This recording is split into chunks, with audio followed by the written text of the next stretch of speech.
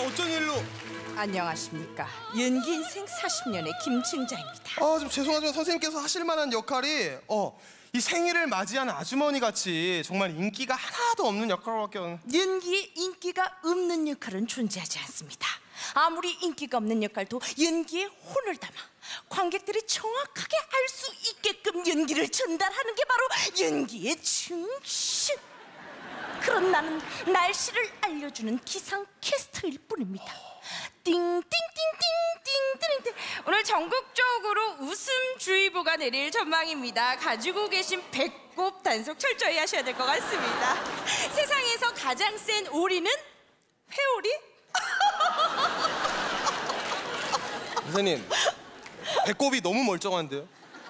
오늘은 날씨 예보가 틀렸네요. 자 일단 맞이한 아주머니 연기 들어갑니다.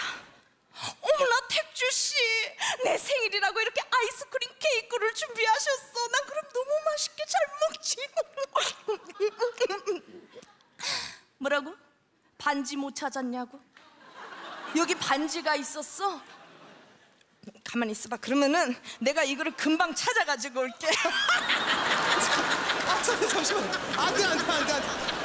자, 알았으니까요. 저 생일을 맞아서 데이트하는 씬 그거 좀 바로 보여주세요. 생일날 데이트는 아주머니 연기 들어갑니다.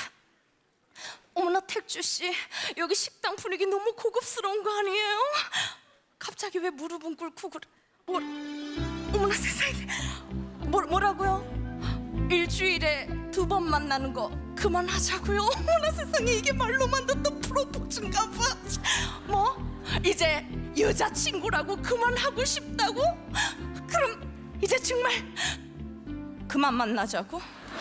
너 왜 싹싹 빌어? 야 빌지 마 오늘 내 생일 아니야 네 재산날이야 너 그래서 무릎 두 개 다 꿇었니?